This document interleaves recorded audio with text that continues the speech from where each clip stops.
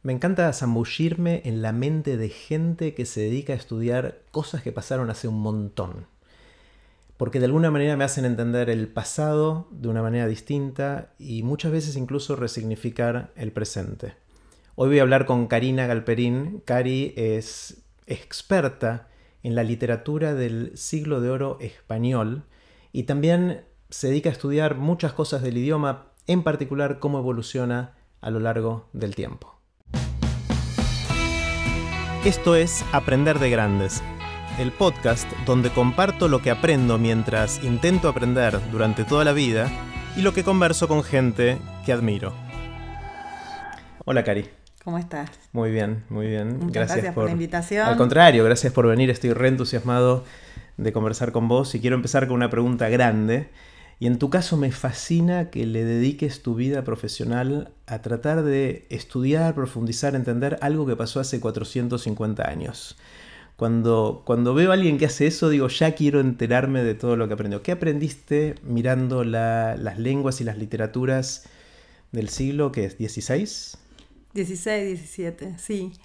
Mira, lo primero que aprendí es que casi todas las ideas fueron pensables en todas las épocas. Ah. Muchas veces tendemos a minimizar o a subestimar a los hombres del pasado, salvo a los grandes hombres, y y a infantilizar un poco otras épocas, ¿no? Siempre como magnificando las nuestras, ¿no? En esa época no sabían qué o en esa época no pensaban qué y ciertamente había cosas que no sabían porque hemos avanzado científicamente, tecnológicamente, pero en términos de ideas o de conceptos, si bien es cierto que las distintas épocas piensan diferente, yo siempre encontré incluso minoritariamente o sueltos, siempre pensamos más o menos parecido. Mm. O dentro de grandes sistemas y cosmovisiones distintas, algunas ideas reaparecen o algunas ideas son siempre pensables. Y a mí esa idea de que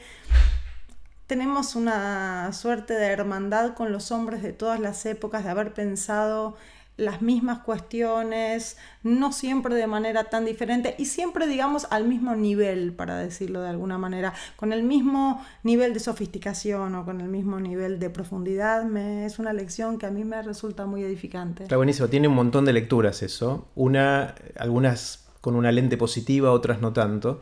Parecería que hay algo de la naturaleza humana que se mantiene constante y que nos hacemos más o menos las mismas preguntas.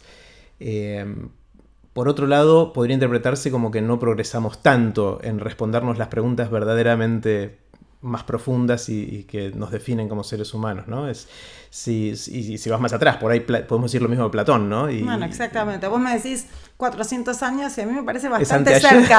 Yo como convivo con esa gente muchas veces me resulta como son tus Estoy en diálogo con ellos, les pregunto cosas, sus textos me las responden y ciertamente sí lo que me pasa es que cuando alguien habla de, algo que pasó hace 200 años, digo, no, no, demasiado nuevo para opinar. Hay que darle más tiempo. Hay que darle tiempo, hay que pensar, hay que ver cómo esto termina. Pero lo de, lo de ciertas eh, maneras parecidas o o análogas de pensar, pero sobre todo de vivir o de, tener relaciones humanas, los tipos de vínculos. Ciertamente algunas cosas cambiaron, pero muchas otras que creemos que eran distintas no eran tan diferentes. Mm.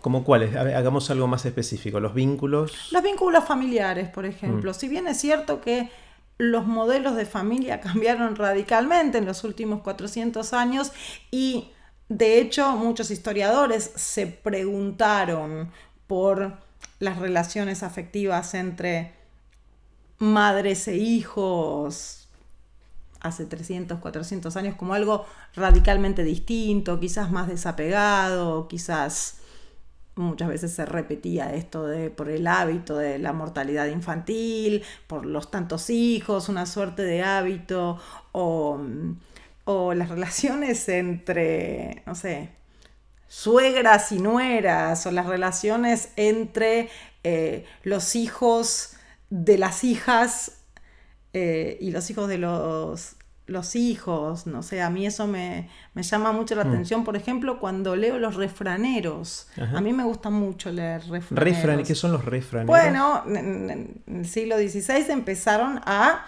recopilarse junto con la valoración de un cierto saber popular, una curiosidad por ese tipo de saberes, empezaron a recopilar refranes.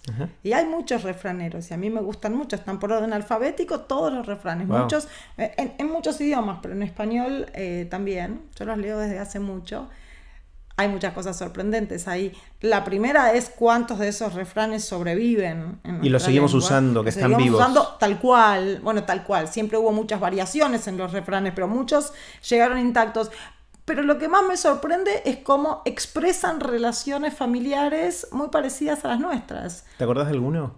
No, no me acuerdo de alguno. Me, la verdad lo tendría que haber, no sabía que íbamos a hablar de no, esto. No, pero, pero me acuerdo mucho de esto de que decía, no sé, los, los conflictos con las suegras o los conflictos entre cuñadas, familias políticas, apego a los hijos, apego a los nietos. Surgen contenidos que podrían ser actuales. Muy actuales. Y a mí me pasa también hace, hace un tiempo que le estoy prestando mucha atención a cuadros. Yo me interesé bastante también en la, en la pintura de esta época y ciertamente son pocos, pero hay cuadros y sobre todo retratos familiares en donde mm. hay madres, eh, padres, hijos.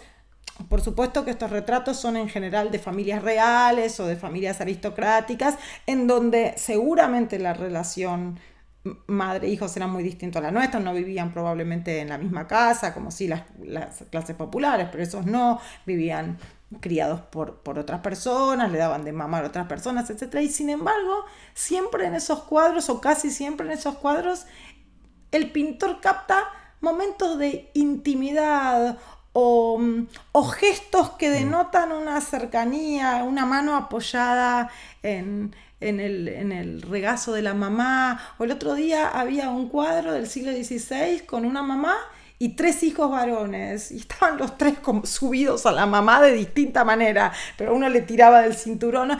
Y, me pareció... Es una foto actual casi. Es una foto actual, pero además con el... Con el con el agregado de que el pintor ahí vio algo que decidió congelar y que podría haberlos hecho posar de otra manera. No es que no es una instantánea, pero es una decisión que evidentemente captaba algo. No sé si captaba algo del querer ser o de lo que era, pero en cualquier caso el imaginario de lo que había ahí no era tan distinto de lo que hay ahora. Por supuesto me interesan también mucho las diferencias, me interesan también esos momentos en que ves una manera muy distinta de pensar o una manera muy distinta de acercarse a los hechos, pero por ejemplo, eh, yo me interesé mucho, me sigo interesando mucho en la Inquisición española. Y me interesé mucho en los cuadros sobre los autos de fe. Los autos de fe eran esos momentos que finalizaban el proceso inquisitorial en donde se leía la sentencia y a quien había que, castigar e incluso quemar se lo mandaba, era un poco más lejos, pero se lo mandaba a quemar. Ahí autos de fe. Autos de fe se llamaban, sí. Y tenemos como una idea, por muchos teóricos o por muchos historiadores, en parte cierta, de que las escenas de ejecución eran escenas un poco festivas o, que había algo de entretenimiento en la gente cuando iba a ver esos momentos de ejecución, no solo de la Inquisición, sino también de la justicia ordinaria, digamos.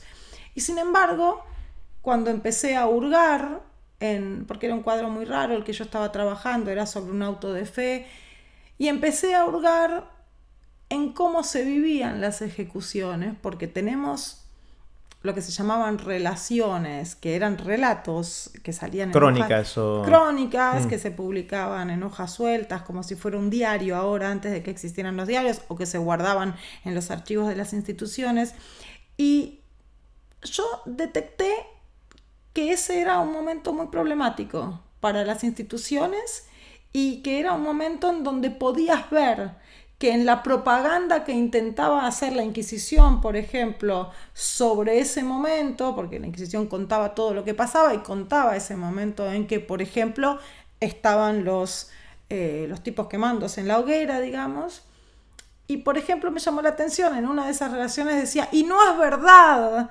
que fueran mártires, porque habían sido herejes y eso. Y está muy claro ahí que la gente que estaba viendo eso gritaba que eran mártires. Mm. O que había algún tipo Por eso alguien tenía que salir a desmentirlo. En No, nadie lo salía a desmentir, pero este era alguien que era un auto de fe muy importante en el que, entre muchas otras cosas, porque mandaron a hacer un cuadro eh, y mandaron a hacer también, antes del cuadro, un relato, que alguien escribiera como, como un texto celebratorio de eso que estaba pasando. Pero ahí mismo, en el corazón de los textos celebratorios, podés ver que eran momentos en donde la gente reaccionaba de distintas maneras y donde eh, alguna gente no quería mirar o alguna gente no quería ver. ¿Y, por qué iban si no querían mirar? Bueno, en el caso de la Inquisición Española, y esa es una hermosa pregunta porque muy poca gente se la hace, había muchos incentivos y castigos. Si no ibas. Habían incentivos, indulgencias, en, eh, ciertos trabajos te, daban algún tipo de, avance, pero también en algunos empleos tenías castigo por no ir. no sé por qué me suena algo familiar a ir a una manifestación o no ahora, ¿no? Es muy parecido en algunas cosas. Bueno. Hay incentivos raros y complejos. Esos eran incentivos explícitos. Entonces, eso de iba mucha gente es cierto. Ahora, ¿por qué iba? y cómo reaccionaba y qué lecturas había en ese momento, me parece que es más complejo. Y insisto, no solo pasaba con la Inquisición, aunque la Inquisición pasaba de una manera muy especial porque eran en muchos casos, en la justicia ordinaria, ah, probablemente tenías a alguien que robó, alguien que mató, etcétera, con lo cual quizás el delito atenuaba la simpatía, aunque nunca del todo. Pero en el caso de la Inquisición muchas veces era gente que iba a ver a vecinos suyos y que no estaba muy claro.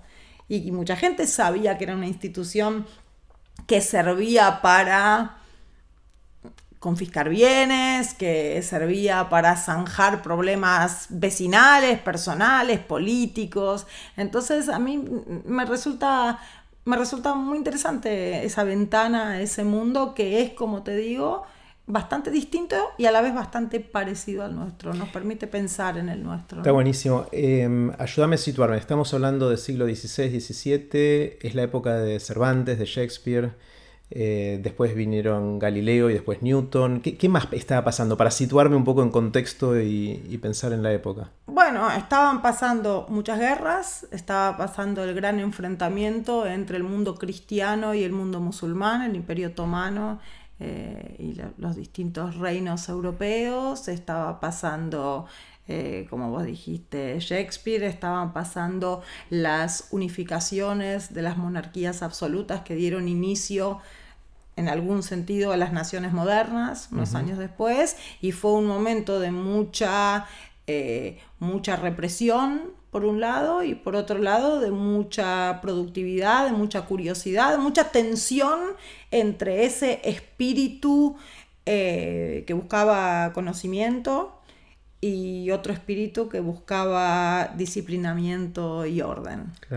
es el fin, es el fin de un mundo en Europa diverso, un mundo diverso culturalmente, es el mundo de la convivencia entre cristianos y musulmanes en, musulmanes en Europa y en España se produce la estocada final a todo esto, que es 1492 en donde se da al mismo tiempo, en un mismo año, la expulsión de los judíos, que es la última expulsión europea, porque había habido muchas otras en distintos lugares ya, es la toma de Granada, es decir, el último mojón de dominación política musulmana en Europa y el descubrimiento, entre comillas, de América. Pero es un momento muy potente eh, porque, porque dos de esos hechos hablan de una convivencia muy intensa. Por eso cuando ahora alguien dice, cuando alguien habla de nos invaden los musulmanes, bueno, en el largo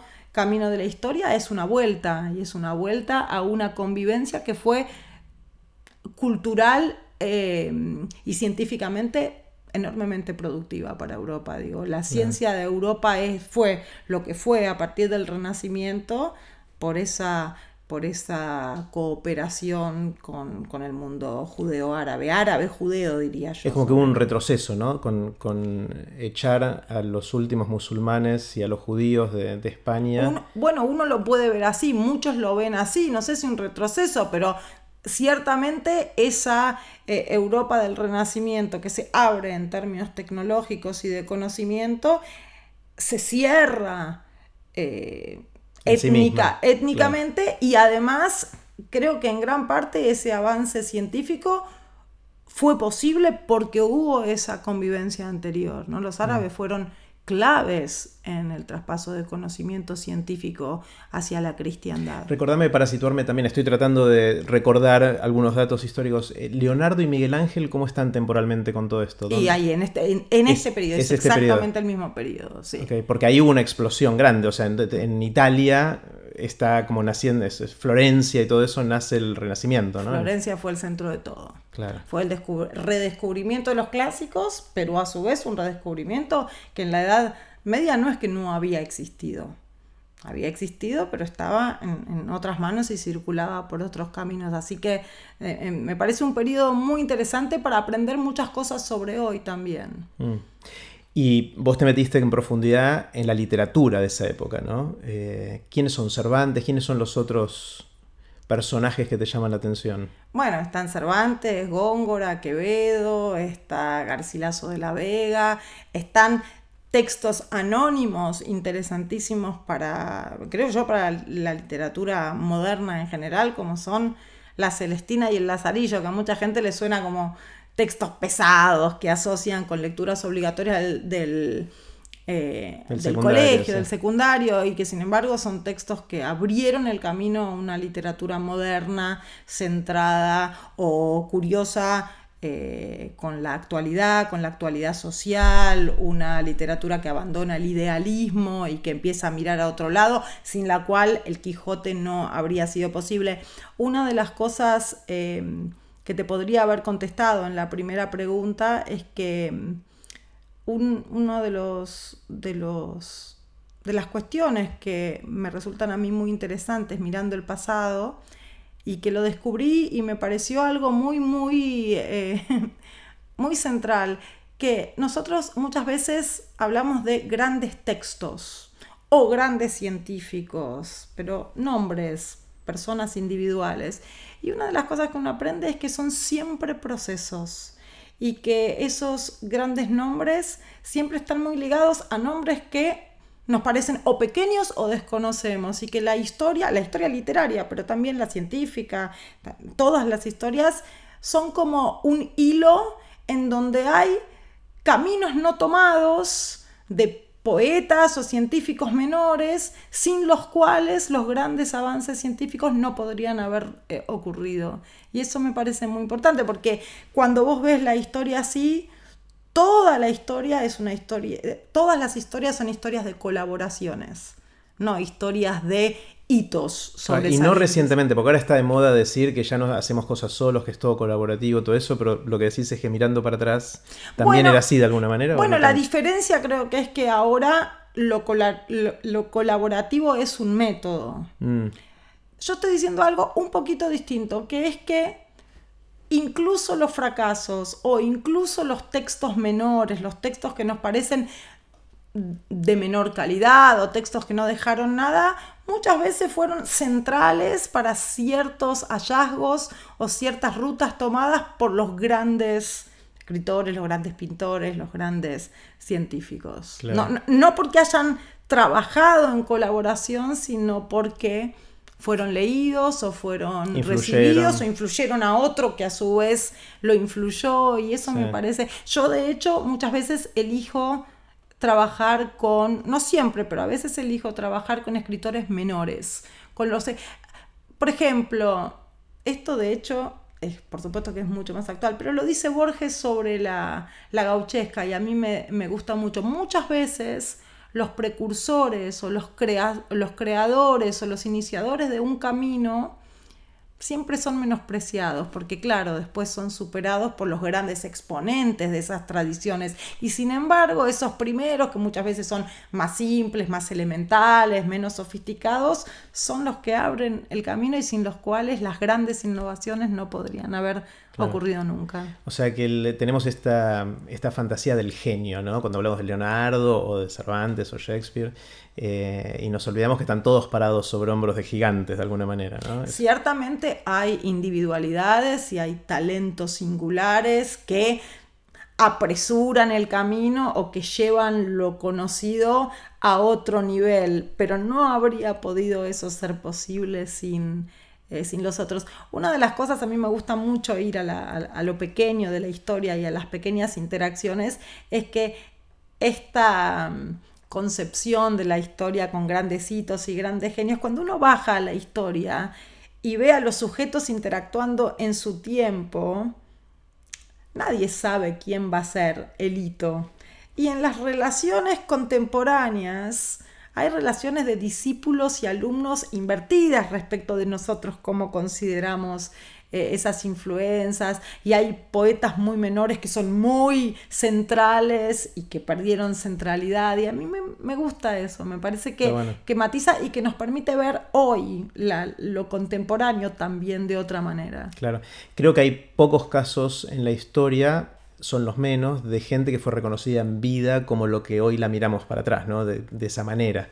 Eh, la típica es Van Gogh, que hasta que no se murió no vendió ningún cuadro y, eh, pero por otro lado, Picasso ya era muy famoso cuando estaba vivo. O sea, hay, hay, ejemplos para un lado y para el otro, pero la mayoría de los casos los reconocemos más adelante, ¿no? Bueno, no sé, el caso de Shakespeare es importante en ese sentido, porque Shakespeare ciertamente en su época fue muy reconocido, hizo mucho dinero, era un personaje central del escenario teatral de Londres. Pero el Shakespeare de esa época y el reconocimiento de esa época no es el mismo que hacemos ahora. Era por otras razones y era cuestionado por los académicos y eso que nosotros ahora eh, admiramos tanto en Shakespeare, que son las mezclas, mezclas de estilos, mezclas de géneros, mezclas de tonos, mezclas de personajes, en su momento eran un problemón. O sea, eran ciertamente una de las causas de su éxito comercial, pero en términos de la teoría dramática eran un problema. Lo mismo con Lope de Vega. Lope de Vega a mí me, me, conmueve en ese aspecto porque Lope de Vega era exitosísimo, era un portento y, había acaparado el, éxito teatral de su época. Y sin embargo, no sé, Góngora, a quien Lope de Vega admiraba muchísimo como poeta, lo ninguneaba todo el tiempo. Y Cervantes también, porque bueno, Lope de Vega empieza a hacer un teatro nuevo, un teatro que rompe con las reglas aristotélicas y con las reglas que se habían regido el teatro eh, anteriormente. Un teatro enormemente exitoso en términos comerciales, pero no siempre apreciado de la manera en que lo apreciamos hoy. Hoy para nosotros Lope de Vega poéticamente está al mismo nivel que Góngora. En mm. su época, eh, no. Eh, tengo este, este, problema que me cuesta acercarme a estos textos. Yo en el, secundario leí el Quijote entero y me encantó. Amé el Quijote, pero muchas de las otras lecturas obligatorias me fueron áridas, arduas, difíciles. Me acuerdo que me hicieron ir a ver una función de La Tempestad de Shakespeare en inglés a un teatro. Yo no hablaba también inglés, con lo cual me perdí, y aparte he hablado en el lenguaje de la época, peor todavía, entonces me perdí mucho, no, no la pasé bien, no tengo un buen recuerdo de eso. Y al día de hoy me cuesta disfrutar eh, todo el, valor que tienen estas obras. Eh, como también, ojo, también me cuesta con, Borges. Eh, pero por otras razones. Borges es quizás por la cantidad de referencias cruzadas y guiños que sé que me estoy perdiendo y que, no reconozco. Pero en este caso no sé qué es, no sé si es que lo veo muy distante, me cuesta conectarme y a muchos de mis amigos le pasa lo mismo. De, ¿Cómo, se hace para disfrutar de la manera que vos disfrutás? ¿Hace falta hacer un doctorado en esto o hay una manera de acercarse más desde el disfrute puro? Mira, una de las razones por las cuales yo elegí concentrarme en, en el Renacimiento, en el siglo de oro, es porque me gustaba eso de que fuera una literatura que me demandaba ciertos saberes para acceder, que no era una literatura a la que yo podía acceder fácilmente. Digo fácilmente, pero quiero decir Cortázar. Sí, por supuesto que hay distintas maneras de leerlo, pero básicamente cualquier lector más o menos con ciertas pericias entra a esa obra, entiende de qué le habla, entiende qué, con, qué experiencias están al lado de eso en, general, mientras que en el otro no. Primero está, como decís, de Shakespeare, pero también de Cervantes, el problema de la lengua. La lengua de hace 400 años es distinta. A mí hoy me cuesta mucho percibir eso porque yo soy una hablante fluida del español del siglo XVI y hay incluso léxicamente hay muchas palabras que hemos dejado de usar, estructuras, etc. Ese es un problema. De hecho, hace poco hubo todo un debate muy álgido porque en España se publicó una versión modernizada del Quijote. O sea, lo tradujeron al español, de hoy. De hoy. Y bueno, fue un escándalo porque por supuesto que gran parte de lo que es el Quijote es su verbalidad, digo, cómo es ese lenguaje, cómo está. Pero ah, perdón, te interrumpo, nadie protesta que lo traduzcamos al alemán. Bueno, esa, ese es un, argumento que yo usé mucho, salvo en la lengua materna, todas las traducciones vuelven a hacerse. Nosotros no leemos a Shakespeare en las traducciones del siglo XVII ni en las del XVIII, ni en las del XIX, ni en las del principio del XX. O sea que consideramos que no le hacemos ningún ultraje al texto modernizando esa lengua, pero en la lengua original creo que lo único, así como en el cuadro, el cuadro, la materialidad original es nuestro mm. Fetiche intocable, en donde consideramos que hay algo de la calidad de ese objeto que se pierde si hacemos copia. Es casi sacro, ¿no? Es casi... casi sacro, incluso algo, te diría un halo religioso. Lo mismo pasa, me parece, con la lengua materna. Interesante. Yo tengo una opinión sobre eso, sobre, sobre modernizar textos de la lengua materna. Siempre tenés una negociación. Quiero decir, si el otro lo puede leer en esa lengua, en donde por supuesto que hay muchas cosas en juego que enriquecen el texto, las palabras que eligió, los giros que eligió, hay algo en todo eso, incluso los juegos de palabra con refranes, que es tan central al Quijote, eh, está muy bien, es lo ideal. Ahora, si por dejar eso intacto los lectores no entran al texto, yo prefiero que pierdan un poco de esa textura verbal, pero que accedan al texto, que es también muchas otras cosas, ¿no? Que es también una historia, que es también unos personajes, que es una relación entre los personajes, que es una mirada sobre ese mundo. Mm. Entonces, digo, ahí yo eh, soy eh, partidaria de, de negociar. Pero bueno, en primer lugar está el problema de la lengua, que sí, es un problema que hay que reconocer.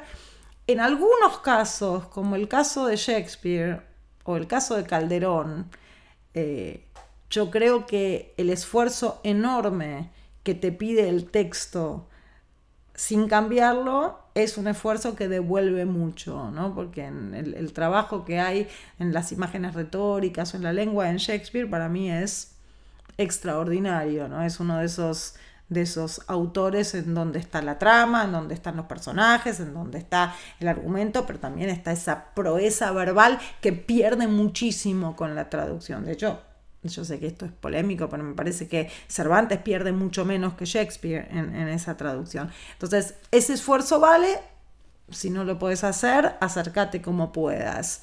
Eh, después está, bueno, todo el cúmulo de conocimientos que esa época daba por sentado en el público y que nosotros perdimos. Nosotros tenemos que acceder o por la nota al pie o por conocerlo. Y después están, bueno, también los intereses de la época, eh, las convenciones sociales de la época, muchas cosas que, que uno tiene que hacer un esfuerzo para comprender qué es lo que está pasando ahí. Ahora yo creo que lo fundamental de esos textos es que demandan una mediación para la gente que no está naturalmente inclinada o que no tiene todo este bagaje. Quiero decir, para, antes de acercarte a esos textos, necesitas alguien que te reponga esos espacios, alguien que te explicite los problemas centrales o las cuestiones que trata ese texto o incluso, dependiendo la edad, que te ponga sobre la mesa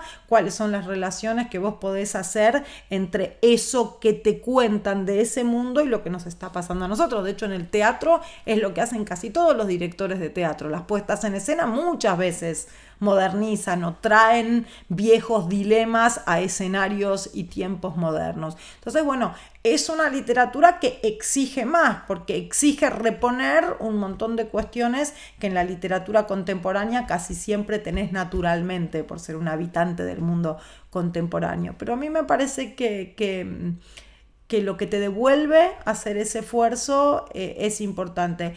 De todas maneras, yo ahí estoy con Borges. Yo casi siempre que hay algún libro que yo enseño, la Divina Comedia, por ejemplo, respecto del cual Borges escribió algo, a mis alumnos siempre les doy a Borges y les digo, lean a Borges antes de leer el texto, ¿no? Porque en la Divina Comedia, por ejemplo, Borges dice, bueno, este libro puede ser interpretado de muchas maneras distintas, distintas. Ha sido interpretado de muchas maneras distintas, pero también es un texto narrativo.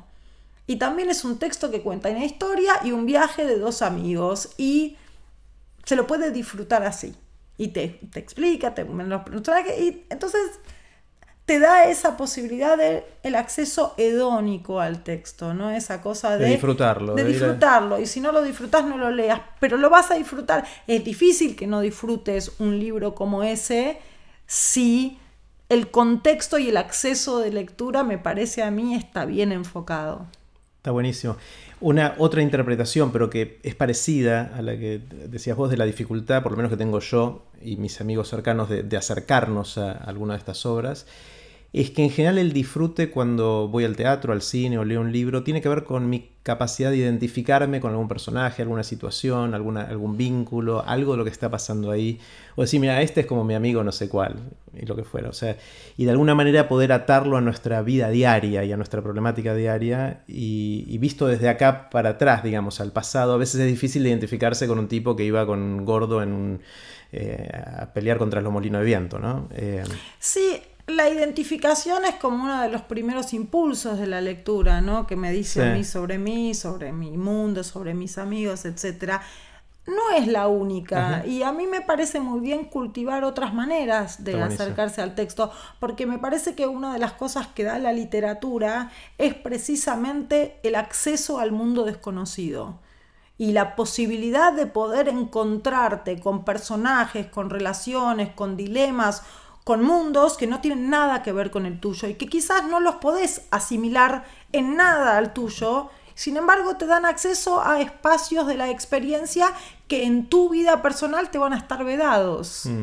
Y esa posibilidad de ver, de verse no a uno, ciertamente la, la mm, lectura identificatoria es muy importante para muchísima gente y es natural y hubo épocas muy específicas en donde esa fue una lectura muy importante, qué sé yo, pienso en el, en el, en el teatro del romanticismo, donde el mundo burgués empieza a querer verse en el teatro, o incluso, qué sé yo, en el siglo XVII, en, en la pintura holandesa, en donde los nuevos burgueses empiezan a pintar y quieren que en las pinturas no haya ni un mundo mitológico, ni un mundo religioso, ni un mundo aristocrático, sino el mundo burgués en el cual ellos viven. Y está muy bien, pero la otra también me parece importante. Me parece muy importante poder ver en los textos lo que es radicalmente distinto, incluso exponerte a ideas o pensamientos muy distintos a los tuyos o incluso opuestos a los que a vos te parecen razonables. Mm.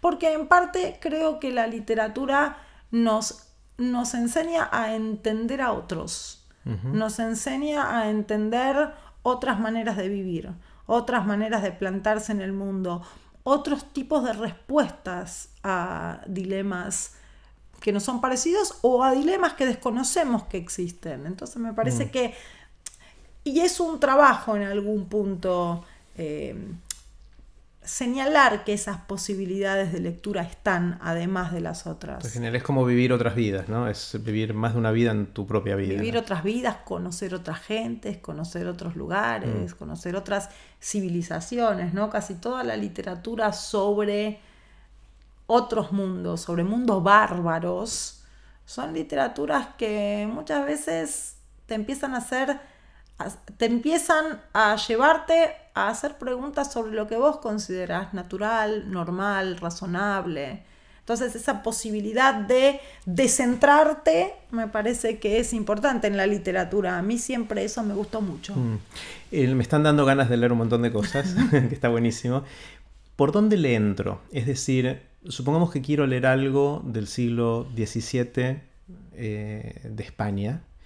Em, y quiero que sea algo, una entrada amigable, en el sentido de que, no, me, no, me, cueste demasiado para ganar motivación y después hacer otras cosas.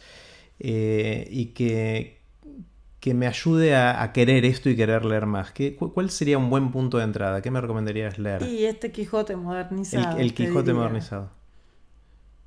El resto exige trabajo, eso yo no lo quiero simplificar. No, no, no, no, digo simplificar de más, pero de una manera que me enganche y después vaya a las cosas más difíciles, ¿no? Sí, yo creo que el Quijote, quizás alguna lectura sobre la historia de ese periodo también, ¿no? Porque cuando haces dialogar los textos, la historia contemporánea también cobran un espesor distinto. Incluso cuando lees el Quijote, qué sé yo, un montón de cosas el encuentro de Sancho Panza con su, su ex vecino morisco que fue expulsado. Y eso, si lo lees y no sabes cuál es el contexto de esa época, quizás tiene menos espesor. Mm. Insisto, lleva trabajo. Lleva trabajo y, lleva conocimiento de un montón de cosas, pero me parece que, le da espesor a nuestra existencia. Mm. Hace poco me contaban eh, una historia entre Góngora y Quevedo que entiendo que tenían una rivalidad tremenda. Eh, Góngora el de la nariz grande y Quevedo riéndose de la nariz. ¿Cómo es la frase? Érase un hombre a una nariz pegada, es un soneto entero sí, que le hace, eh, que le Quevedo. hace Quevedo a Góngora y que incluso lo, eso lo asociaba a su judaísmo y lo denunció a la, a la Inquisición y algo así. Había mucho de esta miseria de, de, peleas entre la farándula y chismes que, circulaban, ¿no? ¿Cómo, ¿Cómo, era? El mundo literario siempre.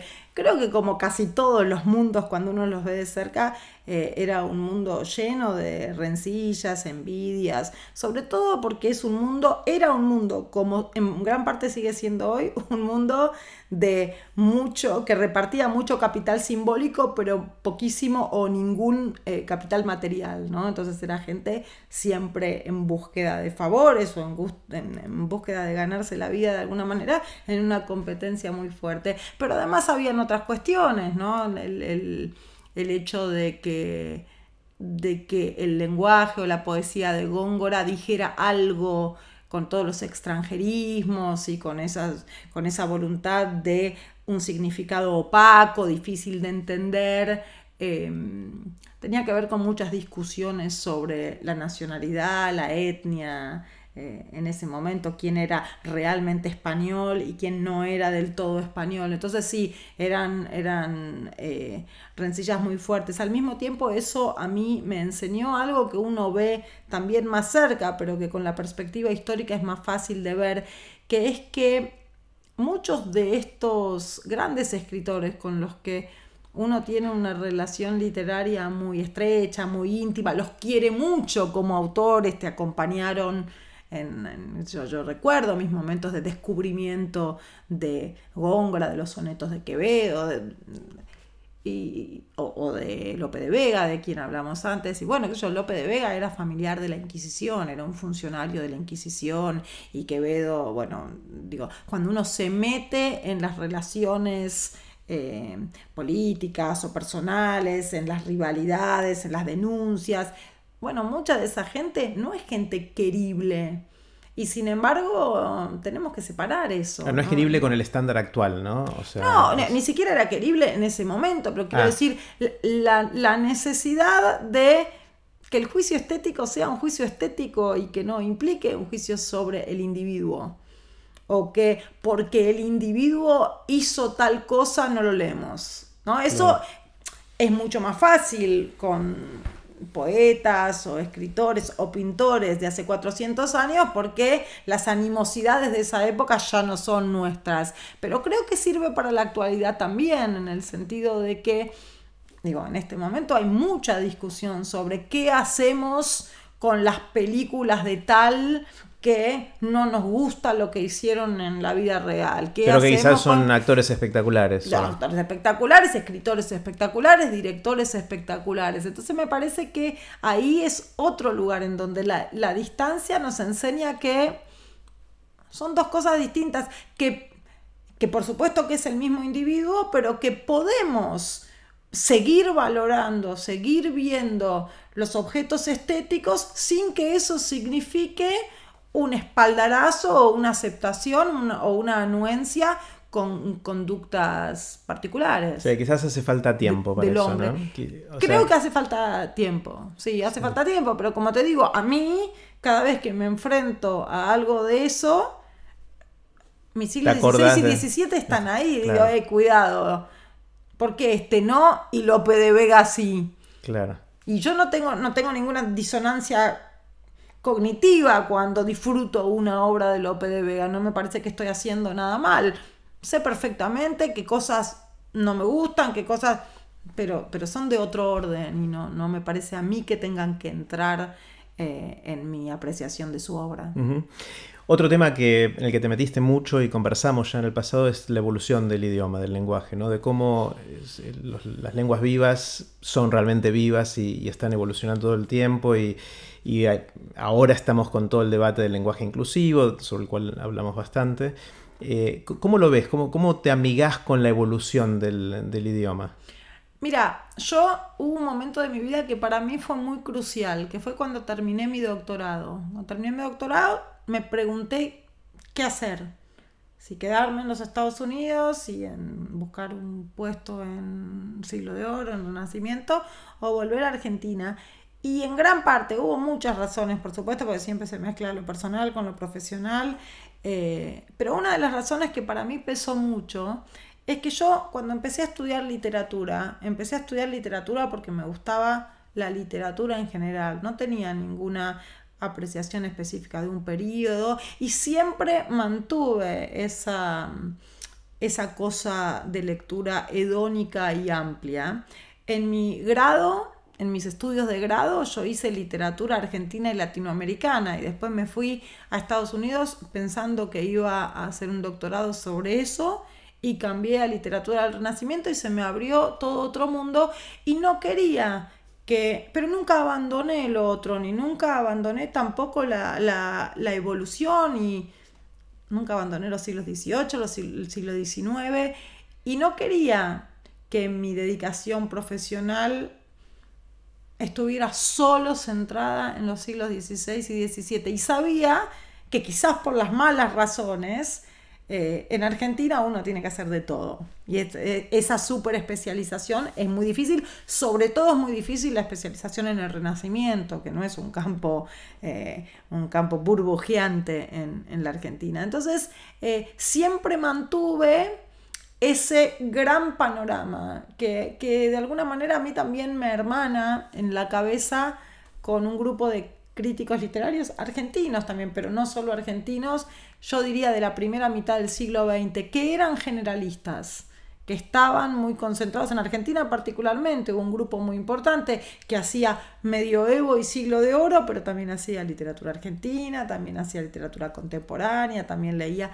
Y mm, entonces como yo mantuve eso, siempre mantuve la, la, el panorama que me dejaba ver la evolución, y me dejaba ver la evolución de la literatura, pero también me dejaba ver algo al que yo le empecé a prestar atención, no me preguntes por qué, pero le empecé a prestar atención a los debates sobre la lengua, sobre todo porque al tener ese gran panorama, me di cuenta que algunos debates que cuando estudias el siglo XIX te parecen propios del siglo XIX o cuando estudias el XVI te parecen propios del XVI, en realidad aparecen en el XVI, aparecen en el XVII, vuelven a aparecer en el XVIII, vuelven a aparecer el XIX, entonces ves que no son reflexiones puntuales, sino que son parte de una larga preocupación que vuelve a aparecer. Así nació, por ejemplo, mi interés en la ortografía, ¿no? porque empecé a ver que la discusión sobre la ortografía estaba ahí desde la primera gramática del español y que había sido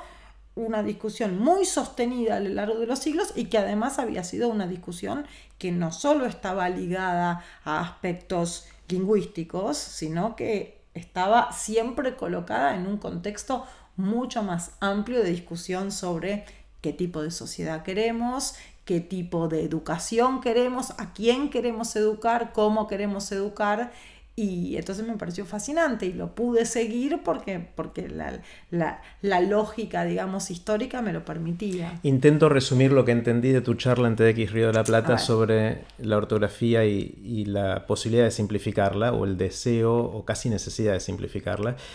Em, lo que a mí me quedó muy fuerte es que le dedicamos un montón de tiempo en nuestra formación a escribir con S, con C o con Z, a dónde poner los tildes, a B larga, B corta, eh, H o no H.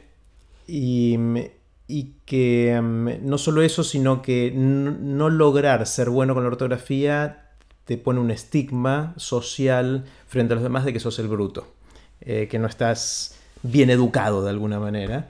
Eh, sin embargo, que eso no agrega mucho valor, porque mm, realmente no nos ayuda a pensar mejor saber que algo vaya con S o con C o con Z. Sí, quizás etimológicamente, pero bueno, se puede aprender la etimología igual a pesar de que podamos unificarlas. Entonces tu propuesta era, ¿por qué no poner un solo símbolo para el, sonido de la S, un solo símbolo para el sonido de la B, que en, castellano no diferenciamos entre B corta y B larga, etc. Y eh, dedicarle el tiempo que liberamos eso a escribir bien, por ejemplo, a, desarrollar otras capacidades que sí son más críticas para pensar mejor, para comunicarnos mejor, para interactuar mejor. Eh, sin embargo, eso, ese es como mi, entendimiento de tu charla y, que no es algo nuevo, que es algo que viene de hace mucho, pero que nos cuesta un montón, de que hubo varios intentos fallidos de intentar ir en, esta dirección. Y muchos intentos exitosos, porque eso es lo que olvidamos, que nuestra ortografía hoy no es la misma ortografía que en el siglo XVIII, que fue cuando surgió este debate. bueno, no, el debate surgió en el siglo XV, pero cuando, cuando se crea la Real Academia Española y se hace el primer esfuerzo de, eh, de uniformación ortográfica, había muchas palabras y muchos criterios que hemos ido simplificando. Letras que han ido desapareciendo, nosotros teníamos la cedilla por ejemplo, nosotros teníamos la X en, la doble valencia X y J, todavía. De Javier con X. Un, sí, o de México, que México, México, no quiso, cuando cambió la ortografía. No quiso ponerlo con J. No quiso cambiar su nombre porque era una cuestión de identidad. Claro. Y era simplemente una cuestión de cambio ortográfico. Había una letra que era la X que tenía dos sonidos y dijeron no, dejémosle a la X el sonido X y la otra pongamos una J, jabón iba con X. Ah. Eh, o qué sé yo, palabras como Cristo iba con CH, ese... ¿Y eso, eso se cambió por una decisión em, institucional o fue usos y costumbres que evolucionaron? No, la ortografía no se cambia casi por usos y costumbres. La ortografía es algo que cambia la institución, que cambia la autoridad. En cada lugar habla otra autoridad. Para mí que haya una academia es muy bueno en ese sentido porque hace relativamente fácil cambiar algo que si no tenés una academia, ¿quién dice que se cambia? Claro, y aparte te libera del estigma de que sos bruto si lo escribís así. Bueno, nosotros ahora tenemos un ejemplo que es hace muy poco, muy poco, porque vos recordarás que era muy distinto, solo cuando era adverbio llevaba una tilde. Claro, el solo de solamente. Exactamente. el solo de adjetivo no. Claro. Ahora es optativo, supuestamente, pero quieren ir haciendo que desaparezca esa tilde. Con, con, todo buen criterio, porque las tildes en español, la función de las tildes en español tienen que ver con dónde cae la acentuación en la palabra, no con qué significado tienen. Bueno, algunos sí, D y D o T y T. Bueno, pero yo creo que ese camino lo vamos, lo está desandando de a poco la mm. RAE. La RAE está diciendo, la tilde sirve para marcar sonido. No, porque de hecho, vos me decís, sí, están los, las tildes diacríticas que vos decís, ¿no? Pero entonces, ¿por qué no, no ponemos tilde en todos los homónimos? Claro en algunos sí, en otros no. en algunos sí, en otros no. Entonces la no es un buen criterio. La RAE está diciendo que se vayan yendo. El otro día me contaron algo muy gracioso. Un amigo mío publicó un texto en Colombia, que parece que en Colombia son muy férreos con seguir las reglas. Las nuevas reglas se adaptan. Las reglas, entonces las nuevas son reglas. Y, le tacharon todos los solo y también los este, ese, aquel, ¿no? los pronombres demostrativos que a los que también la, la RAE les sacó la tilde. Y, y la justificación fue que eran, le dijeron así, que eran anacronismos. Un anacronismo hace cuatro años. Pero digo, cuando tenés una institución atrás de eso, el cambio es más fácil. Y estos cambios se dan siempre de arriba. O sea, hay alguien que se da cuenta de que no sirven para eso las tildes y que lo que yo escuché a muchísima gente, incluso gente ilustre, decir que no, que, era, que, le daba mucha precisión tener la tilde. La RAE dice, y en la mayoría de los casos en el uso de la lengua no hay confusiones. Claro. Entonces, hacer siempre una excepción porque en casos remotísimos hay una confusión va contra van contra el criterio económico que usamos en el uso de la lengua. Así que sí, las, las autoridades solamente cambian la ortografía y las autoridades lingüísticas eh, del español han sido bastante progresistas en, los cambios ortográficos. Hace poco la RAE eh, puso a disposición del público en Madrid las discusiones sobre mm. ortografía entre los académicos a lo largo de la historia, pero yo creo que hubo un mojón muy importante y muy detrimental para que siguiera naturalmente esa evolución hacia, hacia la preeminencia del criterio fonético en la ortografía, es decir, hacia que sigamos sobre todo el criterio de cómo se pronuncian las palabras para escribirlas y no cómo se escribían en los idiomas originales, etc. Em, y ese momento fue la reforma ortográfica de Chile, la que hacen Bello y Sarmiento, y creo que fue un momento muy malo en algún sentido, porque em, correctamente la Real Academia lo percibió como un ataque a la Real Academia y sobre todo un ataque a la preeminencia española sobre la lengua. Sarmiento esto lo decía explícitamente, así como era Sarmiento temperamentalmente, que no era el caso de Bello, ¿no? Yo creo que Bello, que era el ideólogo de todo esto, creo que iba, pensaba con la Real Academia. ¿Qué es exactamente lo que quisieron hacer Bello y Sarmiento? Una simplificación ortográfica. O sea, ellos propusieron unificar la B larga y B corta, por ejemplo. Algunas letras. Algunas. La, y, latina por Y, algún, sacar las H mudas, o sea... Y eso fracasó. Bueno, fracasó.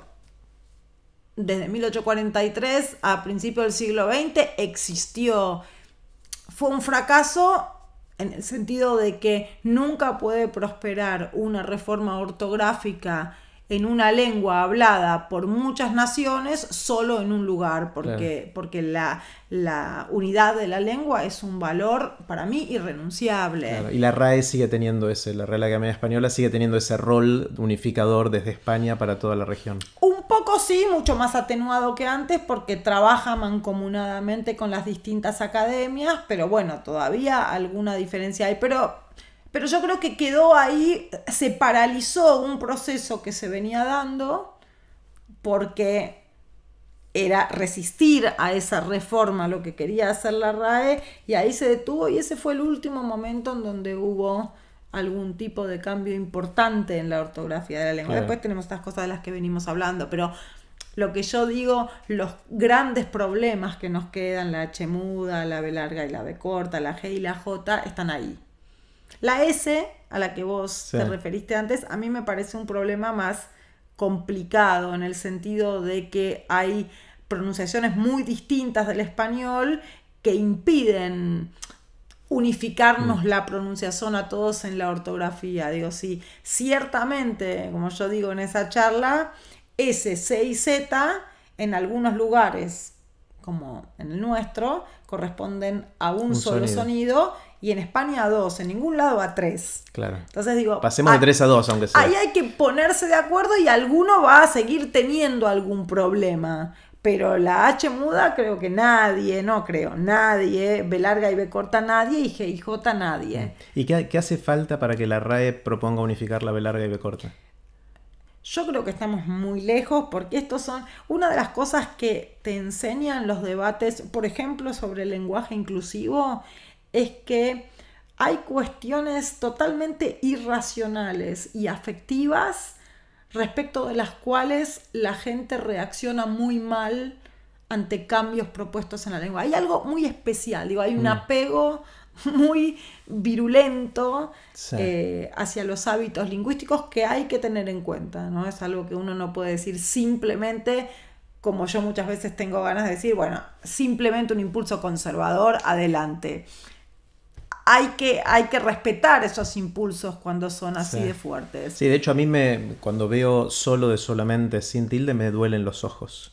O sea, sé que es un cambio que está aprobado, pero como en algún lugar leí que todavía era optativo, le, pongo yo la tilde y si alguien me la critica, le digo, mira, mientras sea optativo, yo quiero seguir viéndola ahí, ¿no? Yo estoy como vos, yo, yo que tengo esta mente, así que estoy siempre a favor del cambio, que estoy muy a favor de ese cambio, la pongo. Y cada vez que la pongo me río de mí misma, pero no la saco, porque entiendo que así cambia, digo, que está bien que yo... A mí esa me parece una, una actitud correcta, que es la de decir, yo entiendo, está bien, me parece que eso es un artefacto mejor, la lengua así. Ahora yo estoy acostumbrada a escribirlo de otra manera y si la escribo como ustedes me dicen, algo me hace ruido y yo me lo respeto. Mm. Pero una cosa distinta es ante ese mismo fenómeno decir, no, eso es una porquería y está mal solamente por mi hábito. Para mí ahí sí hay un esfuerzo de reflexión, darse cuenta de la diferencia entre lo que yo hago porque me crié así y valoro por razones X de lo que me parece que está bien que ocurra en la lengua. está bueno.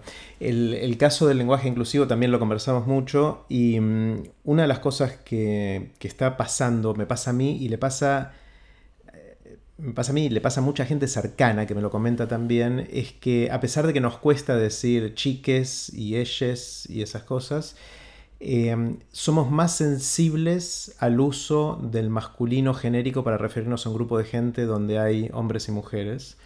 Em, y entonces buscamos alternativas creativas, ¿no? Eh, decimos personas, alguien, gente, en lugar de decir algo que tenga el, género directamente puesto en el lenguaje. Eh, ¿Cómo sigue evolucionando eso? eso cómo, ¿Cómo lo ves? A mí lo que vos decís me parece muy, muy agudo. Yo lo tuiteé hace muy poco y, me atacaron con una virulencia realmente llamativa, porque dije, bueno, me parece que eh, toda la discusión sobre el lenguaje inclusivo, en donde estamos hoy, es que hay una cierta ampliación del uso todavía en grupos muy minoritarios. Hay una incomodidad con, con el uso del, tercer género en E. Digo, muchos de nosotros lo usamos a veces en palabritas, pero no lo incorporamos.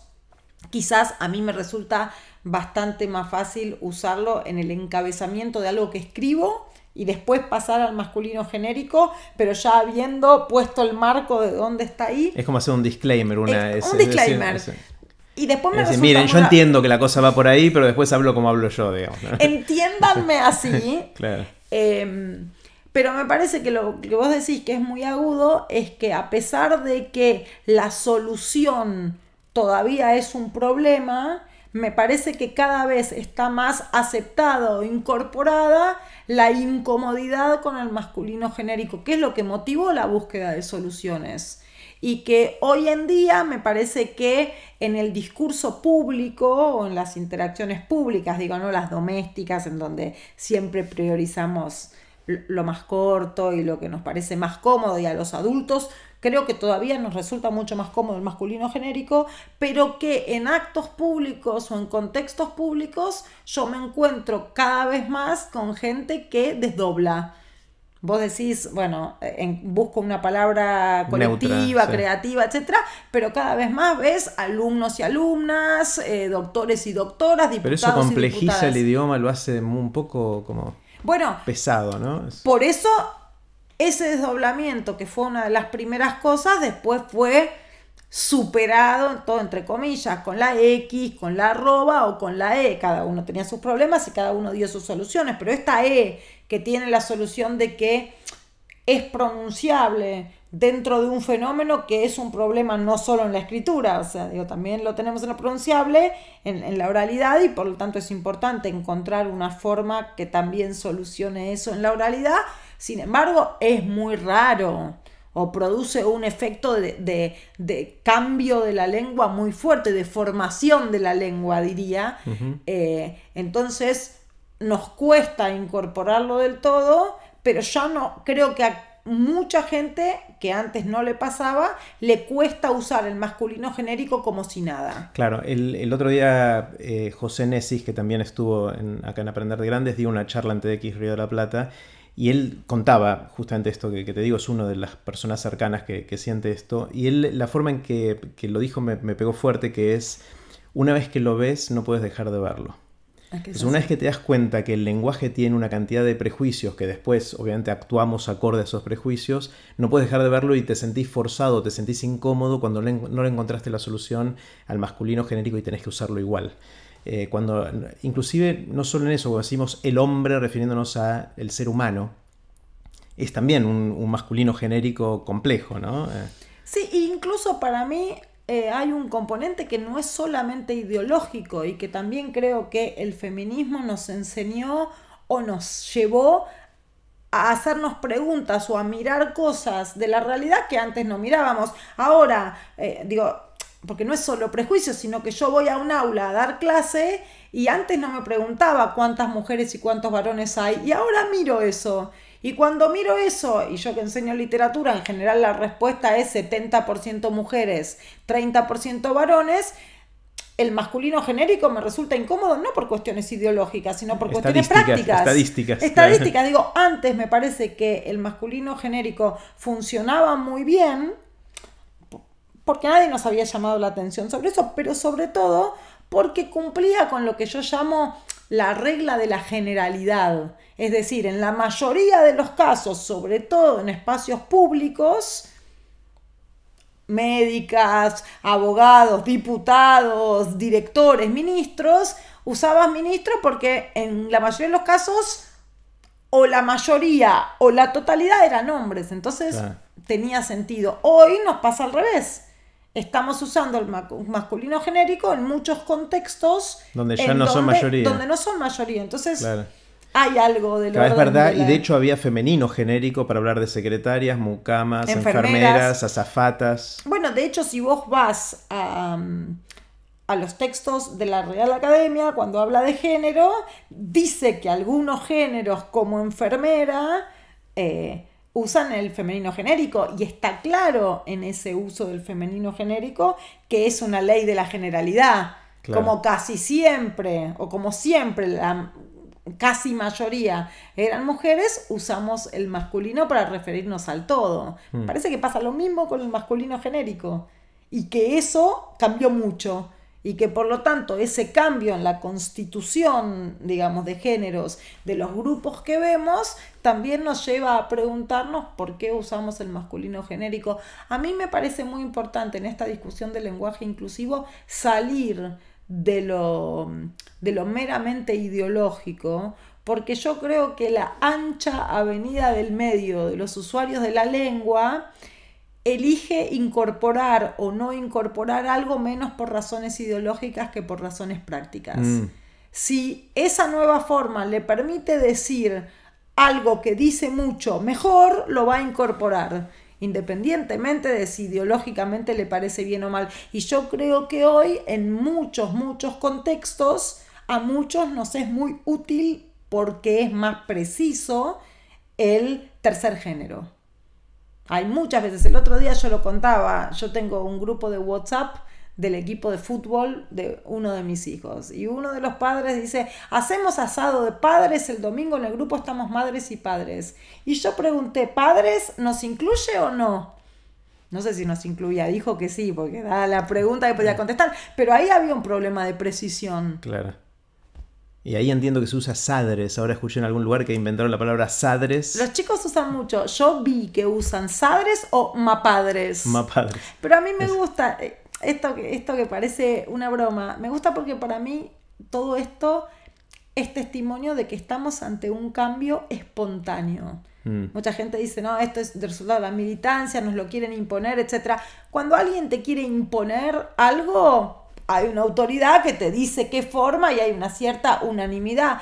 Acá me parece que lo caótico de las soluciones propuestas y, de los usos propuestos al problema del masculino genérico son muchas porque es un cambio espontáneo, digo, que se está dando frente a la sensación de que hay un problema con las palabras que usábamos. Claro, parecería que mientras que en la ortografía tiene que ser la autoridad la que define el cambio, en los usos de palabras y, giros y todo eso es más la autoridad tratando de ponerse al día con lo que pasa en la realidad. Es exactamente así, digo, cuando decimos la lengua avanza naturalmente por, por cambios de uso, yo siempre cuando hablo de ortografía me encargo de decir salvo con la ortografía, pero este es el, otro lado, en donde cambia naturalmente. Yo entiendo a la gente que dice, porque si vos mirás la historia, estos cambios, este es un cambio gramatical muy profundo, ¿no? Toca a como uno de los grandes basamentos de la estructura de la lengua, como es el género. Eh, esos son cambios que siempre se dan en el en la larguísima duración, toman siglos, son lentísimos y esto que estamos viendo es un cambio que se está dando muy rápidamente. Entonces, lo que yo siempre contesto a los que dicen, bueno, esto, esto es orquestado porque si no fuera orquestado sería lento y vendría de usos populares y esto no es un uso popular, yo creo que es un uso popular. No es que popular significa eh, Masivo. humildísima. No, esto sí es un movimiento de clases medias vinculadas a ciertas problemáticas eh, que está, está considerando insuficientes ciertos eh, usos lingüísticos. Ahora, mi respuesta a eso es que vivimos en una época en donde la circulación de la palabra, gracias a las redes sociales, se da a una velocidad inaudita y por lo tanto, cuando cambió la tecnología de circulación de la palabra, es pensable que los cambios se den a otra velocidad, ¿no? Parece, eso es lo lindo de la historia, que la historia te ayuda a ver cómo ocurrieron las cosas antes, pero no, eso no significa que las cosas tienen que volver a pasar de la misma manera. También te enseña en qué momentos, por ejemplo, el momento de la aparición de la imprenta, las palabras empezaron a circular distintas y las dinámicas de los cambios fueron distintas. Bueno, ahora nos parecemos un poco a eso. Entonces, mm. eh, eh, te da, me parece, herramientas para ver el presente con una densidad analítica mayor. Está genial. Me encanta conversar con gente como vos que le dedica mucho tiempo a, estudiar y analizar y entender el pasado. Tuve conversaciones como estas con Cristian Carman, que hablamos de los griegos, con Daniel Balmaceda, que hablamos de la historia argentina, y ahora con vos, el siglo de oro y otras cosas más. Y mi sensación que yo tenía, que me había quedado del colegio esencialmente de estudiar historia, es que historia es lo que está escrito en el manual de primer año, de segundo año, tercer año que nos tocó leer eh, de los libros de historia, donde me quedaba una sensación que eso es. Como que ya está, es el pasado, ya sabemos todo lo que hay por saber del pasado, está codificado de alguna manera y hay que estudiarlo y recordarlo, y no mucho más. Y me pasan dos cosas conversando con ustedes tres y con, con alguna gente más Primero que cambio totalmente de perspectiva de eso, que es decir, no sabemos nada.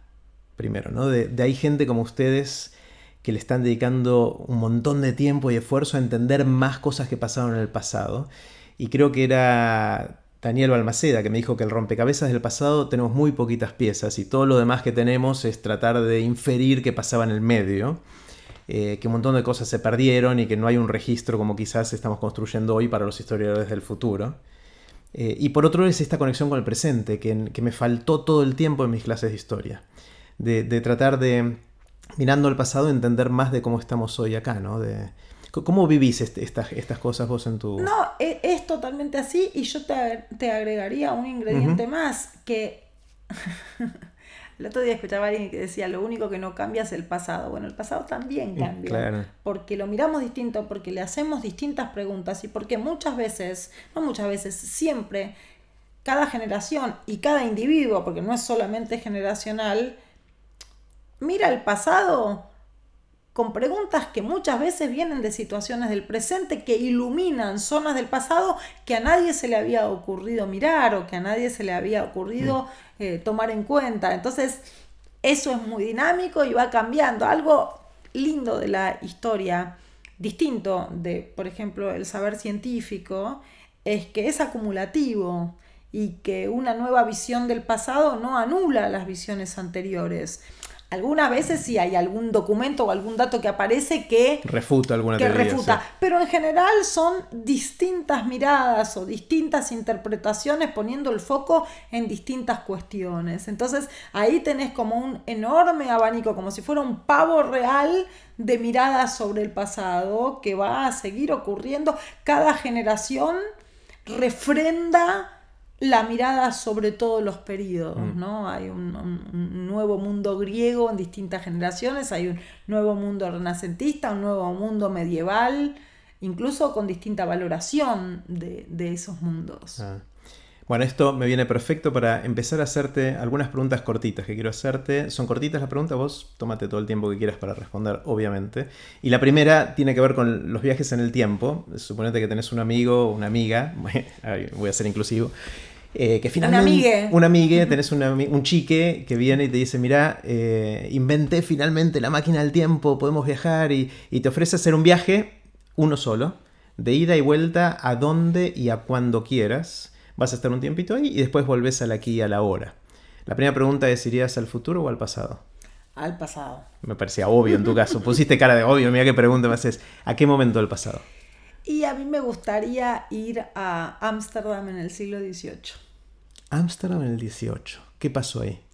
Y ese es el momento, me parece, de aparición de la modernidad, ¿no? Ese momento en donde una se, se fragua una sociedad que valora la tolerancia, una sociedad que vive en literalmente en el comercio entre unos y otros, que además valora la prosperidad material eh, y cultiva la prosperidad artística, la prosperidad del pensamiento. Me parece, me gustan mucho esas sociedades prósperas y creativas y esas sociedades que prosperan a través del comercio entre gente distinta y que le encuentran un lugar a cada uno y que además sociedades en donde hay eh, una valoración de lo colectivo pero también de lo individual. Es interesante porque en general cuando eh, los ejemplos típicos de bisagras históricas son el Renacimiento, la Revolución Industrial, o sea, tenemos distintos íconos en, eh, y este que acabas de mencionar no, no, está entre los más obvios, ¿no? Pero como decís vos, fue, fue tremendo el cambio ahí. Es la Ámsterdam de Spinoza, la Ámsterdam de Rembrandt, ¿no? Y es un lugar que cuando, cuando uno se mete para abajo de esos grandes nombres, empieza a ver un montón de interacciones. Eh, y de interacciones muy productivas entre grupos distintos. Es un momento en donde en Ámsterdam converge gente de distintos lugares y logran de alguna manera, vuelven a lograr la idea de una sociedad tolerante que valora la diferencia y que se hace central y productiva y próspera porque valora esa diferencia. Mm. Em, ¿Hay algo que te hubiese gustado saber cuando estabas empezando que no sabías en aquel momento, pero que sabes hoy? ¿Qué le dirías a la Karina que estaba empezando cuando tenías 20, 25 años? Decís sobre la literatura. Lo que sea, lo que, algún deseo de, che, me hubiese venido bárbaro saber esto que sé hoy y en ese momento era totalmente ignorante de esto.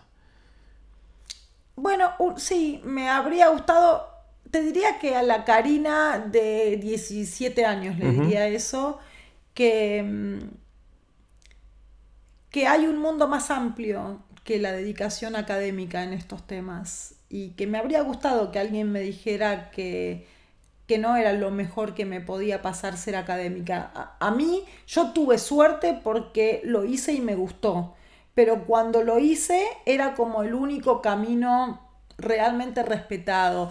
Hay un problema para mí en las universidades y es que los profesores universitarios muchas veces suelen creer que ser un profesor universitario y académico es el mejor destino posible. Mm. Y yo creo que a veces arruinamos vidas y que hay un montón de eh, de ocupaciones relacionadas con la literatura que uno puede hacer al margen o además o aparte de la investigación. Y si hubiese sabido eso a los 17, quizás hubiese tomado, podrías haber tomado otro, otro camino o no?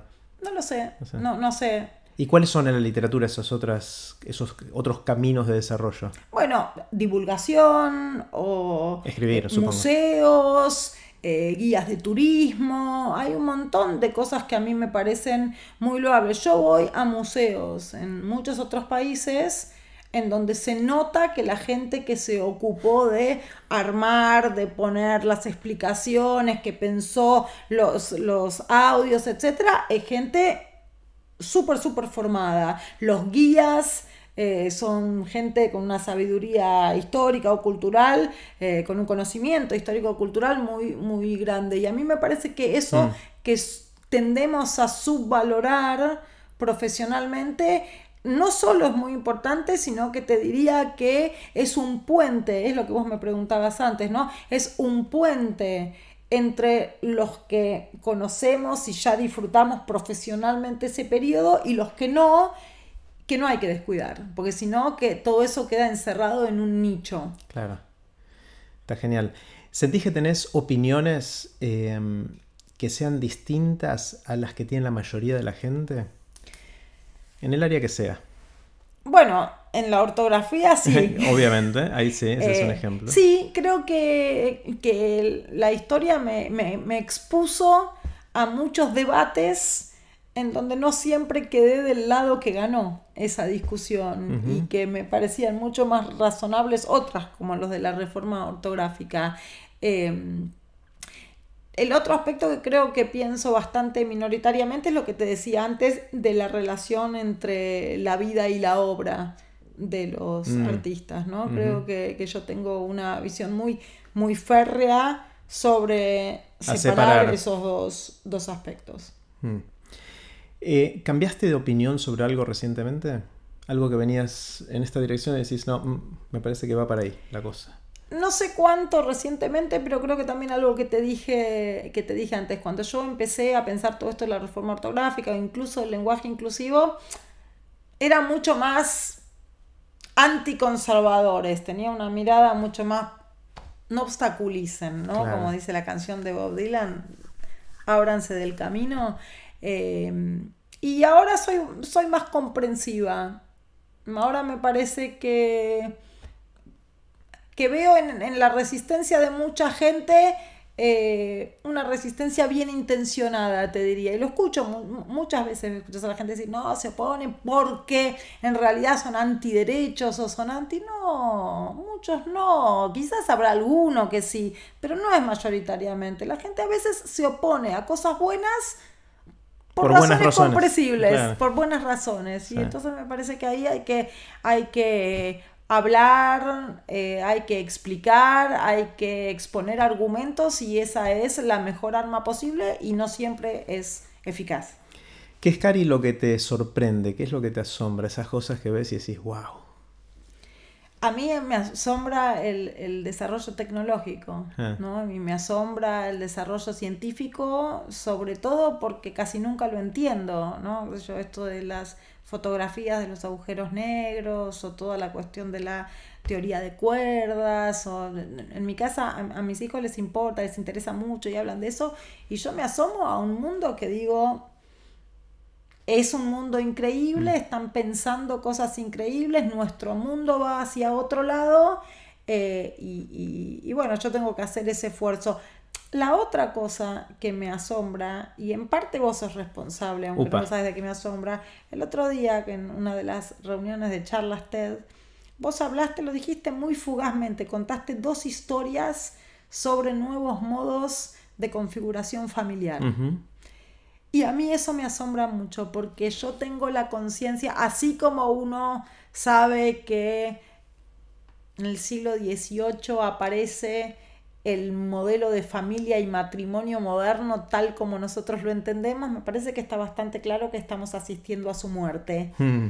Y, y- y desde que yo soy que eso que decís, ¿no? Una vez que lo viste no puedes dejar de verlo, me parece que una de las cosas por las que nuestra época va a ser recordada es por eso.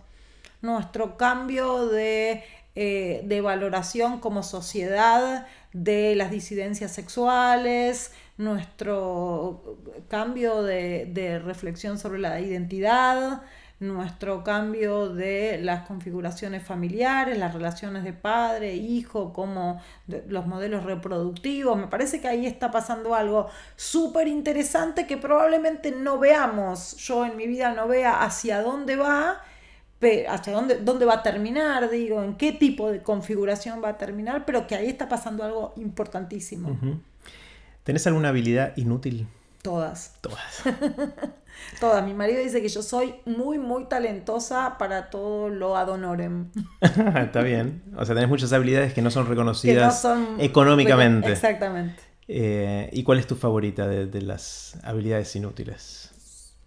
Porque es- esa es la utilidad económica, si querés, pero puede, ser- puede tener otra utilidad, obviamente. ¿no? En realidad, yo tengo un talento que no tiene nada que ver con mi profesión, que yo valoro muchísimo, muchísimo. Ajá. Tampoco es tan inútil, pero bueno, Sí. empaqueto muy bien. Mira.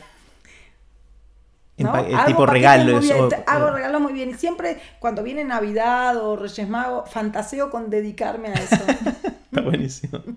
Es verdad, tiene su utilidad, por lo menos es- esas Y dos veces por tiene, año. ¿no? la atención al detalle, que a mí me gusta, a mí me gustan mucho las actividades que no tienen nada que ver con mi profesión. Me gustan mucho las actividades manuales, Mm. que yo no las uso para nada en mi Claro. profesión. Y le pongo mucho, para mí, y esto es raro lo que voy a decir, pero esas actividades ma- manuales como envolver o como coser o como bordar, eh, son como el deporte, en el sentido de una actividad que me lleva el cuerpo y la mente entera. Te desconecta y Me te, vas a otro lado. todo. Está buenísimo.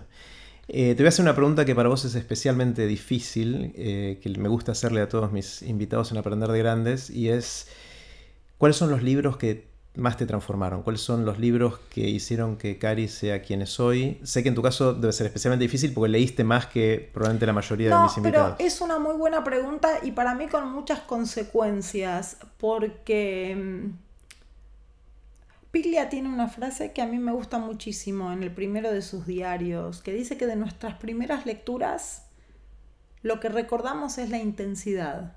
Ah, No el contenido, no qué era, ni siquiera a veces recordamos qué libros eran, pero recordamos lo que sentimos en el contacto con eso y que nos llevó a otro lado y que nos hizo otras personas.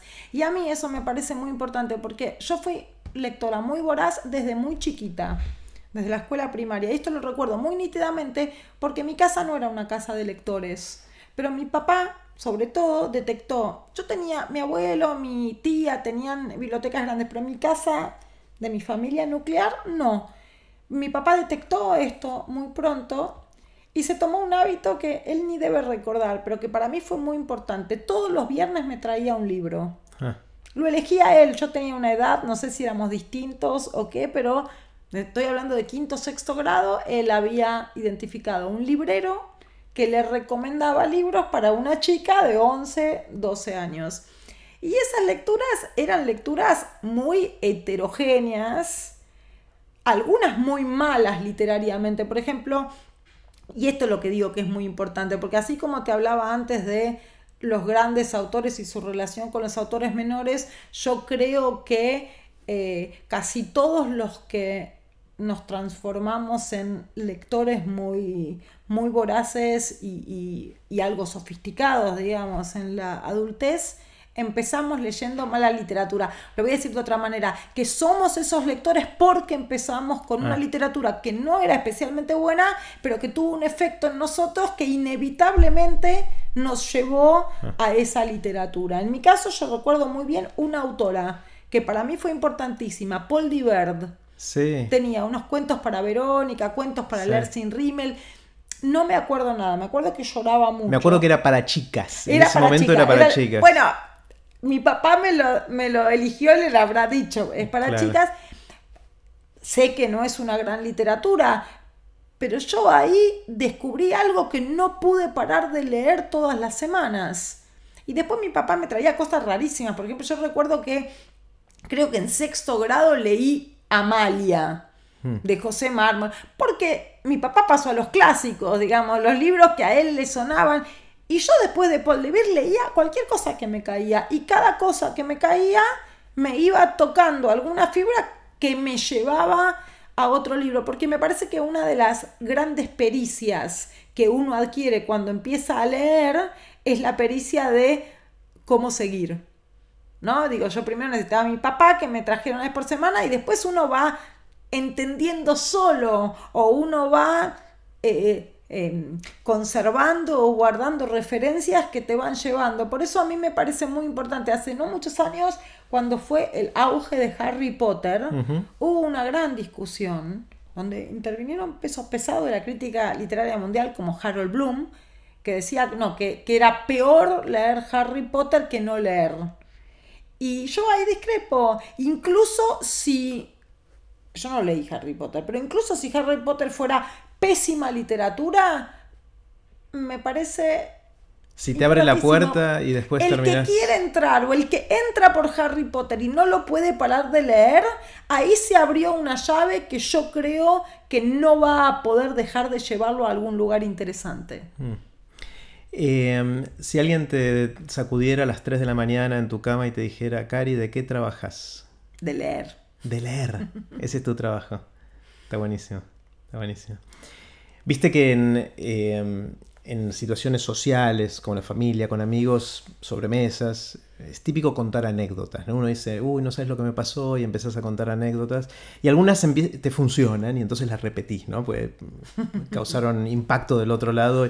¿Tenés anécdotas tuyas que, te gusta contar, que, que, repitas? Tengo una anécdota que es bastante avergonzante. Ajá y es que una amiga mía, una gran economista que se llama Silvana Tenreiro, viste que cuando vivís afuera, vos viviste también afuera, tus amigos son tu familia, ¿no? Es todo lo que tenés y se tejen esas redes. Entonces esta amiga mía que andaba en bicicleta, como andábamos todos ahí en Cambridge, Massachusetts, se cayó de la bicicleta feo y del hospital me llamaron a mí, le dieron, le preguntaron una referencia y me llamaron a mí. Y yo soy una persona que tiene una relación muy problemática con la sangre. Ajá. Y, no, y la fui a ver y cuando la veo, bueno, está en la, en la camilla, toda sangrando. Uh. Y yo la saludo y todo, y cuando se dan vuelta todos los médicos, me caigo. Y pobre, la dejan a ella y me vienen a a mí. Pero no, esa sola. Bueno, em, una de las cosas que me fascina y que me encanta preguntarle a todos es cómo hacer para, sobre todo en la gente más, los chicos, la gente más joven, ayudar a encontrar una pasión por algo. Una de esas pasiones que una vez que la tenés, como en tu caso la lectura, te acompaña durante toda la vida, con la hipótesis de que una vez que tenés algo que te apasiona, lo vas a aprender, lo vas a desarrollar, te va a hacer feliz de alguna manera. Eh, y que nos debatimos mucho sobre la pedagogía, de cómo enseñar contenidos, pero una vez sembrada esta semilla, la pedagogía es casi irrelevante, porque con todos los recursos que hay hoy, si alguien realmente tiene un interés, una pasión por algo, lo va, em, lo va a aprender y lo va a aprender de la manera que es más relevante para cada uno. Entonces mi pregunta es, ¿cómo te parece que podemos hacer para ayudarle a la gente, sobre todo más joven, pero no importa la edad, joven de espíritu, a cualquier edad, eh, para encontrar cosas que lo apasionen o la apasionen. Ya ahora me quedé sensible con el, lenguaje inclusivo. que le apasionen. Que le apasionen a la gente, claro, ahí está. Eh, ¿Por dónde va la cosa? ¿Cómo hacemos para generar esa pasión por lo que sea? Mira, es, una, es la pregunta del millón. Sí. Es la pregunta del millón que es distinta cuando me la hago como madre mm. que cuando me la hago como docente en algún punto es distinta. Como madre lo pensé mucho, sobre todo porque en mi caso es sobre la lectura. Yo las otras pasiones, digo, uno puede acompañar. Me parece que la clave es exponer. Mm. Hay dos claves, me parece. Exponer a cosas a las que no, la gente no estaría expuesta si, si uno no se las facilitara, pero también saber frenar, o sea, saber reconocer cuando eso a lo que expusiste no funciona. Digo, hay cosas que no funcionan y, no sirve esto es importante. A mí me pasó con mis hijos con la música.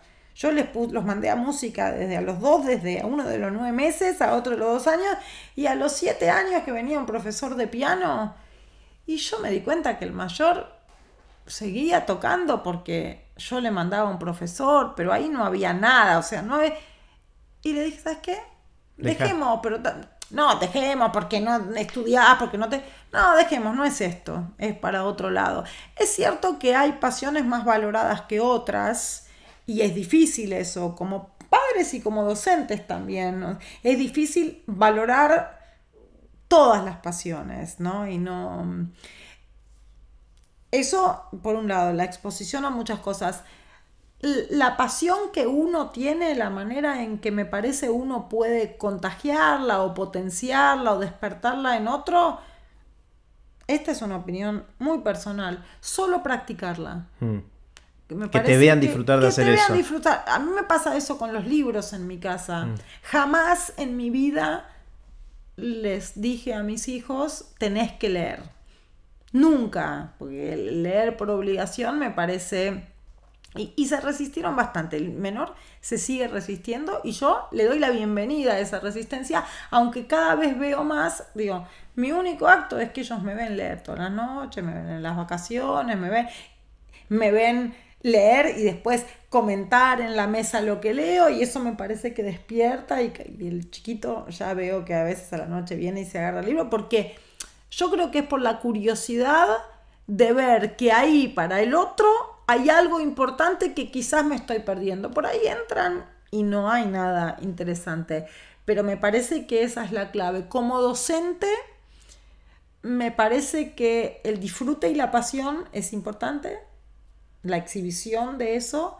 Em, y también es importante pensar en dónde está el otro recibiendo lo que le das.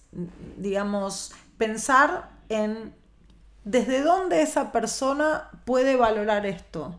No mm. necesariamente bajar eso según mis valoraciones, según donde yo lo, lo, entiendo importante. Como en todo siempre hay que pensar en el otro, ¿no? Y el otro por ahí le ve otro costado o, o, yo entiendo cuáles son sus consumos culturales y qué les importa culturalmente y por ahí tengo que darlo vuelta para ver si ellos mm. encuentran eso ahí. A Sí, esa, esa empatía eh, es probablemente una de las cosas que más falta en el sistema educativo actual. Porque la lista de cosas que hay que hacer son las que hay que hacer y no el otro que las absorba, digamos. Tampoco es fácil, ¿no? Porque esto que decíamos antes, a veces, muchas veces, tenés que pasar por actividades esforzadas para gozar lo otro. Muchas veces tenés que adquirir herramientas que las tenés que adquirir y que a vos no te gusta la herramienta, pero que sin esa herramienta no vas a disfrutar del otro. A mí ese me parece el equilibrio más difícil del sistema educativo, porque no es todo placer. Claro. Y porque hay cosas que tenés que saber. Creo que a todos nos pasa. A mí me pasó como madre eh, con el tema del inglés. ¿No? Esta idea de no, inglés sí.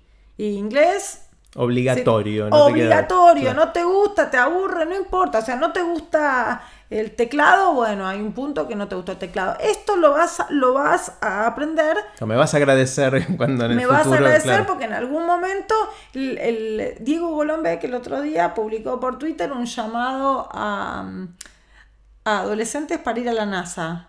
Sí. Y eso incluía un video en inglés, unos ensayos en inglés y mi hijo que se entusiasmó mucho me dijo, qué suerte que estudié inglés. Le dije, ah, ¿viste?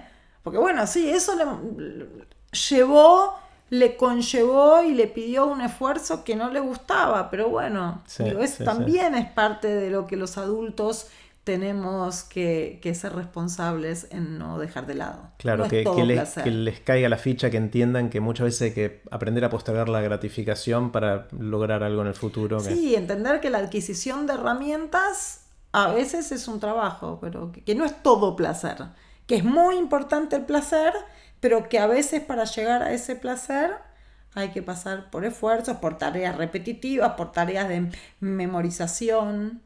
Es muy difícil. Yo no, la verdad es que no envidio a los pedagogos. Cari, si alguien que nos está escuchando tiene ganas de seguirte un poco más, ¿dónde, dónde te encuentra? Me encuentra casi todos los días en Twitter. Ajá. En Cagalperín. Sí. Arroba Cagalperín. Creo que es el único lugar público en donde estoy. No tengo Facebook, no tengo Instagram. Tengo Instagram, pero no lo uso. No lo pero. Twitter sí. Además, Twitter es una de esas herramientas que permiten expresarte, discutir, cambiar ideas. Así que ahí estoy. Bueno, vamos a poner estos links en aprenderdegrandes.com para que la gente que nos está escuchando pueda seguirte un poquito más. Me encantó, Cari, conversar. Como siempre, me encantó hablar con vos. Bueno, gracias. Esto es Aprender de Grandes, el podcast donde me junto a conversar con gente que admiro para aprender de ellos y así seguir aprendiendo durante toda la vida. Aprender de Grandes está disponible tanto en audio como video y pueden suscribirse haciendo clic acá abajo. Los espero en Aprender de Grandes para seguir aprendiendo durante toda la vida.